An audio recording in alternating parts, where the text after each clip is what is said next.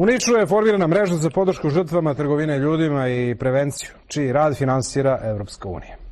Mrežu čine predstavnici socijalnih, zdravstvenih i obrazovnih ustanova, policije, sudstva, cilj je povezivanje svih bitnih faktora u okviru jedne lokalne samouprave zarad bolje saradnje u borbi protiv trgovine ljudima.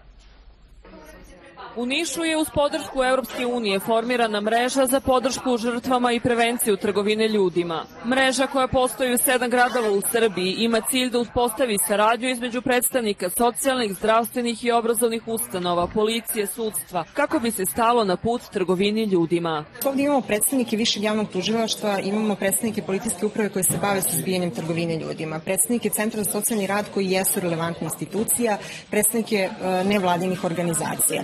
Ovi ljudi su se umrežili kako bi suštinski e, između sebe ne samo razmenjivali informacije, već zapravo stvorili e, jedan sistem koji će iz jednog centra e, razmatrati postojeće slučajeve i donositi odluke po pitanju zaštite žrtava trgovine ljudima. Centar za socijalni rad unaprediće programe podrške žrtvama trgovine ljudima i podsticati lokalnu zajednicu na efikasniju prevenciju. Centar za socijalni rad u tom smislu će nastaviti, nastaviti da štiti prava i interese maloletne deci i pruža punu podršku ovaj, formiranju ovakve ovaj, dakle, mreže i uključivanju uh, svih aktora koji neposredno ovaj, dakle, doprinose zaštiti uh, pre svega maloletnih lica i uključivanja svih relevantnih institucija koje njihovoj zaštiti mogu da, da doprinesu u tom, u tom smislu.